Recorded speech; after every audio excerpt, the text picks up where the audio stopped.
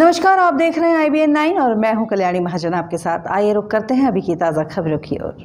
विगत डेढ़ माह पहले मध्य प्रदेश के देवास ज़िले के ग्राम नेमावर में कुछ दबंगों द्वारा एक दलित परिवार के पाँच सदस्यों की निर्मम हत्या कर दी गई थी।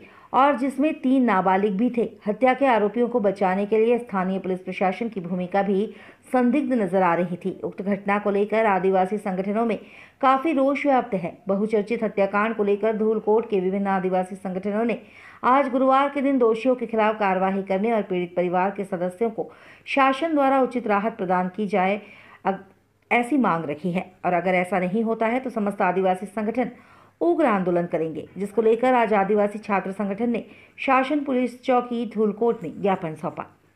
आदिवासी युवा शक्ति छात्र संगठन, जेएस और जितने भी संगठ, समस्त संगठन जो हमारे आदिवासी के, सभी संगठन अभी एक ही मांग कर रहे हैं कि भाई हमारे जो नेवा, नेवामर में जो देवास ज़िले में जो घटना घटी, उस पीड़ित के परिवार को न्याय मिले और जो स्थानीय नेता और उनके दबाव में आके जो पुलिस प्रशासन और जो प्रशासन ने जो कार्रवाई नहीं की, उनके खिलाफ भी जो दोषियों के सहयोग में उनके खिलाफ कार्रवाई करे और न्याय दे।